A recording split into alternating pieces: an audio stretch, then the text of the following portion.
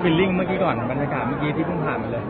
ยังไงประทับใจสุดๆเลยแล้วก็เป็นภาพที่สวยงามมากจริงๆค่ะ เหมือนเหมือนเกดเชื่อว่าคนที่อยู่บนเครนเนี่ยคงมองมาแล้วทึ่งมากขนาดเราอยู่ข้างล่างเรามองด้วยสายตาเปล่าๆธรรมดาเนี่ย ยังรู้สึกว่าสวยและสว่างไปหมดเลยเป็นสีเดียวกันใช่อืมส่วนสำหรับแขกก็ก็รู้สึกตื้นตันนะฮะก็ถือว่าเป็นเอ่ออะไรที่ท่านมุ้ยทำวันเนี้ยก็จะเป็นวีโอคือประวัติศาสตร์เลยก็ว่าได้ นะฮะก็ก็ดีใจที่เราเนี่ยได้มาร่วมเป็นส่วนหนึ่งในนี้ครับพี่เกศเองนี่เป็นเสียงบางทีครั้งแรกนี่เรารู้สึกยังไงนะครับเรารู้สึกว่าเราคนไทยทุกคนแล้วมันร้องกันคนอาจจะร้องอาจจะไม่พร้อมกันอาจจะคนละคีย์แต่ว่ามันมาจากใจแล้วก็ความรู้สึกเดียวกันนะคะ คือเรียกได้ว่าเราร้องพร้อมกันเนี่ยมันก้องไปทั่วท้องสนามหลวงเลยอะ่ะก็รู้สึกว่าเราเนอะตื้นตันใจใช่แล้วก็มีความสุขมากจริง ๆ ที่ได้เป็นส่วนเล็ก ๆ ส่วนหนึ่ง ในวันนี้ค่ะในภาพประวัติศาสตร์ของนี้มันจะอยู่ไปอีกนานเท่านานเลย แล้วก็น่าจดจำมากวันนี้ เพราะว่าทุกคนพร้อมใจถึงแม้ว่าฝนจะตกนะคะ ทุกคนก็พร้อมใจกันหุบร่มไม่ใส่หมวกท่ามกลางสายฝนอย่างเงี้ยค่ะ แล้วเราก็จุดเทียนกัน มันเป็นอะไรที่น่าจดจำมากๆ ใช่ค่ะ มาตัวส่วนตัวเกรซเนี่ยมาบ่าย แล้วก็เขาแคนเซิลรอบที่สองที่สามไป ก็เลยไม่ได้ร้องก็เลยมาเป็น แต่ว่าตั้งใจว่าจะอยู่จุดเทียนอยู่แล้วพอรู้เลยว่าจะต้องสวยงามและน่าประทับใจมากๆจริงๆเนี่ยแหละค่ะ แต่ตอนกลางวันก็มาแล้วก็มาแจกของมาแจกพัดของช่อง แล้วก็แจกยาดมนี่ค่ะ พี่แขกครับแขก ตั้งแต่เช้าแขกแขกมาแต่เช้าแล้ว แล้วก็ด้วยความที่มาถึงก็เอ่อ ได้ช่วยพี่ๆทีมงานมากกว่าเน้นช่วยพี่ๆทีมงาน ก็แบกน้ำมาให้ทีมงานแล้วก็ช่วยแล้วส่วนในเรื่องของที่จะร้องเพลงกลางวันอะไรอย่างเงี้ยก็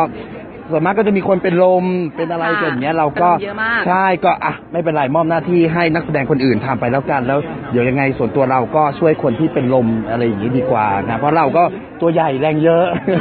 ครับ มีหลายๆคนชื่นชมแล้วตอนนี้ ครับก็ขอบคุณมากนะฮะมันมันมัน ไทยช่วยไทยอะฮะคนไทยช่วยไทยคนไทยรักกันนะแขกก็ถึงแม้ว่าไม่ได้อยู่เมืองไทย 19 ปีนะ แต่ก็วันนี้ก็เป็นบทพิสูจน์แล้วว่าแขเป็นคนไทยร้อยเปอร์เซ็นต์นะ อีกครึ่งหนึ่งที่เป็นอเมริกันคือแขพูดได้เป็นแค่เชื้อชาติไม่มีความหมายเลย แขเป็นคนไทยร้อยเปอร์เซ็นต์แข happy แขรักคนไทยมากอืมนี้เหนื่อยไหมหรือว่ารู้สึกยังไงไหมไม่เหนื่อยนะฮะ มีความสุขที่เป็นเป็นครั้งแรกในชีวิตเลยที่ได้มาเอ่ออยู่กับคนไทยเยอะขนาดนี้ แล้วได้เห็นคนไทยรักกันขนาดนี้แข แขดีใจฮะแขแขอยากให้ภาพอย่างนี้ยมีตลอดไปเลยครับ อืม พี่เกศพี่เกศสักพักเหนื่อยไหมเพราะว่าพี่เกศเองก็เป็นคนจิตอาสามาทุกวันเลยตั้งแต่วันแรกๆเลย ใช่คือคือการมาทุกวันของเกรซเนี่ยเกรซไม่ได้ตั้งใจว่าจะมาทุกวันนะคะ คือมันมาโดยวันแรกแล้วมันก็มีวันที่สองตามมาสามสี่ห้าหกเจ็ดจนแปดจนทำให้เรารู้สึกว่าเราติดไปแล้วอะค่ะด้วยความที่เสร็จงานแล้วก็มาด้วยความที่แรก ๆ เราเริ่มจากการที่เราไปซื้อน้ำดื่มเหมือนจ่ายตลาดเองเลยอะแล้วก็ขนกันมาเองกับเพื่อนๆอะไรอย่างเงี้ยค่ะ หลังๆเพื่อนๆก็ติดงานบ้างแต่ตัวเราติดงานก็เคยเสร็จแล้วก็ตามมาคือโดยในใจเนี่ยไม่ได้คิดว่าจะต้องมาทุกวัน เอาสบายๆ ไม่ได้แบบว่า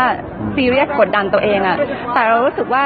พอตื่นขึ้นมาเราก็รู้สึกว่าเรามีกำลังอะเรามีกำลังแรง เรามีกำลังทรัพย์ เราพอที่จะแบบช่วยคนอื่นได้ทำไมเราจะไม่ทำแล้วเวลาที่ให้อะ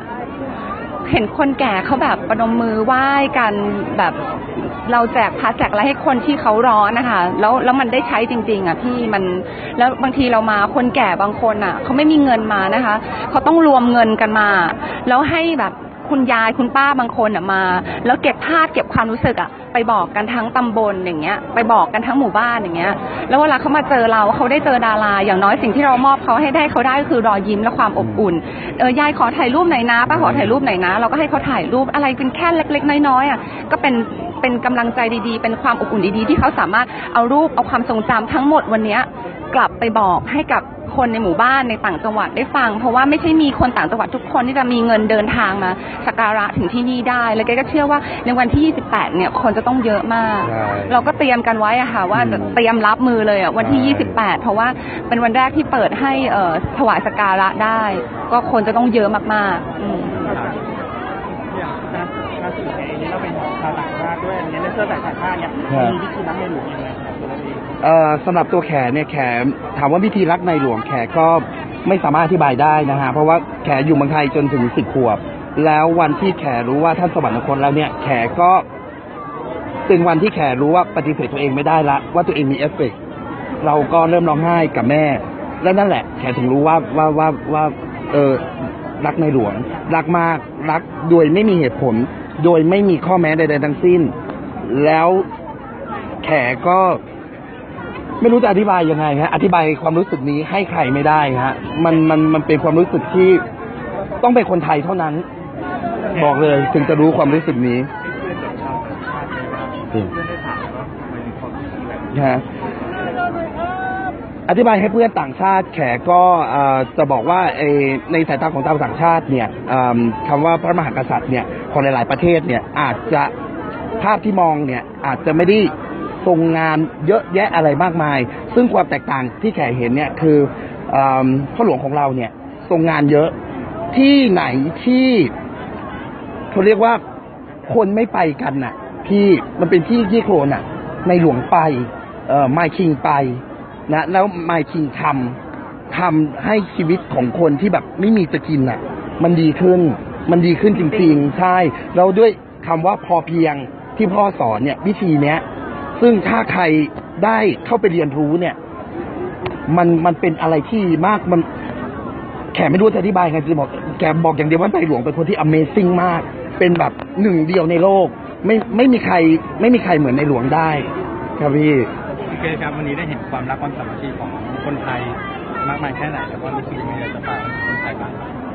อย่างที่บอกว่าเรารู้สึกว่าท่านเป็นสิ่งมหัศจรรย์นะคะมหัศจรรย์ของโลกจริงๆหนึ่งสมองกับสองมือจริงสามารถทำให้คนรักและสามารถทำอะไรดี ๆ เพิ่มพูนงอกงามให้แก่ประเทศชาติได้มากมายขนาดนี้ไม่มีเหตุผลเลยที่จะต้องถามเลยแม้แต่ว่าทำไมคนไทยถึงรักในหลวงจริง ๆ เพราะว่าเหตุผลต่างๆ นานามันอยู่ตรงนี้และอยู่ทั่วประเทศอยู่แล้วอะค่ะ แล้วก็วันนี้เนี่ยถึงเราจะเหน็ดเหนื่อยจะตากฝนเราจะแจกของเราจะทำอะไรต่อมีอะไรเนี่ย เราก็เหนื่อยไม่ได้ครึ่งหนึ่งของท่านใช่หรือไม่ได้สักเสี้ยวหนึ่งของท่านเลยอืมเวลาที่เรานอนเนี่ยค่ะทุกคนนอนกันหมดแล้ว แต่ท่านก็ยังคงทรงงานอยู่อย่างต่อเนื่องทรงงานหนัก เพื่อพวกเราเพื่อความสุขสบายของปวงชนชาวไทยอืมที่ลูกท่านรักเราเหมือนลูกจริง ๆ ทุกๆ คนเนี้ยค่ะ สิ่งที่เราได้สัมผัสก็คือ วันนี้เนี่ยเรารู้สึกว่าลูกทุกคนเนี่ยหัวใจแตกสลาย แต่ข้างในความแตกสลายอะเราก็ต้องจับมือกันอย่างวันนี้เราจับมือกันมาพร้อมเพรียงกันตากฝนไม่ว่าแดดจะร้อนขนาดไหน ทุกคนยืนรอจนเป็นลมจนหนัดแบบไม่ไหวแล้วจริง ๆ จนวินาทีสุดท้ายจริง ๆ แล้วค่อยไปอย่างนั้นนะคะ